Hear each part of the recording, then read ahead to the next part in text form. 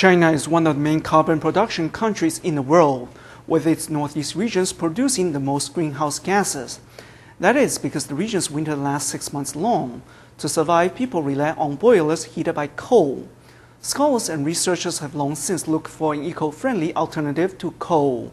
And now we introduce you to a system that relies on underground sewage to help regulate temperatures. Summer in China's northeastern city of Harbin, the provincial capital of Heilongjiang province, is enjoyable but short. Winter begins in October, covering the region in thick layers of snow that last until the next March. Most heating in Harbin is provided by boilers, which provide heating for the whole district. For every square meter of area being heated in winter, 40 kilos of coal is consumed over the course of the winter. As the coal burns, the carbon dioxide produced is multiplied by three, which means 120 kilos are discharged for every square meter. There's no way to reduce carbon emissions with these methods. For every kilo of coal burned, 3 kilos of carbon dioxide is released into the air. With limited supplies of natural energy source in the world, how will Northeast China endure its frigid winter while still remaining environmentally friendly?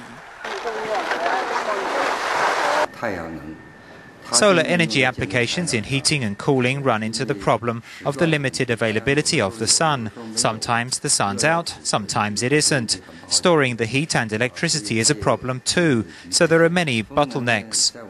Now wind power, it works great in the northwest, it generates electricity too, but to heat the whole vast north depletes a lot of energy. So what other non-fossil fuel can we use? It's the heat that is everywhere in our environment. Energy exists everywhere in the air, earth, and water, all which can theoretically be used to regulate temperatures in our dwellings and make our life comfortable. In northeast China, Professor Sun says sewage holds the key. Harbin's winter dips 20 to 30 degrees Celsius below zero, but sewage remains around 12 to 16 degrees Celsius.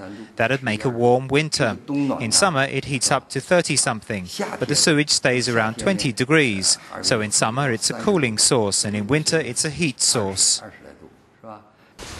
Statistics show that every year, Harbin discharges 900,000 tons of sewage, while the whole of China discharges 70 billion tons. The sewage accounts for 40% of a city's background heat. So how can that energy be extracted? This is where heat pump and refrigeration cycle come into play, based on the same principle that works our refrigerators, air conditioners, and heaters.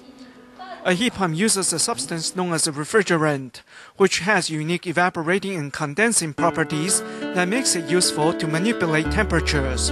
When the refrigerant of an air conditioning is compressed by its compressor, it becomes a very hot gas.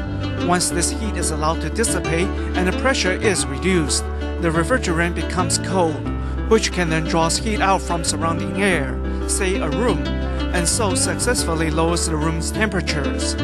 It is through this continuous cycle of compression via condenser and expansion by a special expansion valve that heat can be dissipated or absorbed.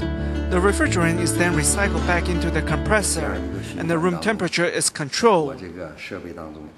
In this circulatory system, we have a high temperature component and a low temperature one. I can channel my pipe through to extract the heat for heating or to extract the cold for cooling purpose. With increasingly limited conventional fossil fuels, humans must reevaluate our energy usage policy and discover new reusable sources. Many cities in China, besides Harbin, have already employed these green heating and air conditioning units in hotels or commercial buildings.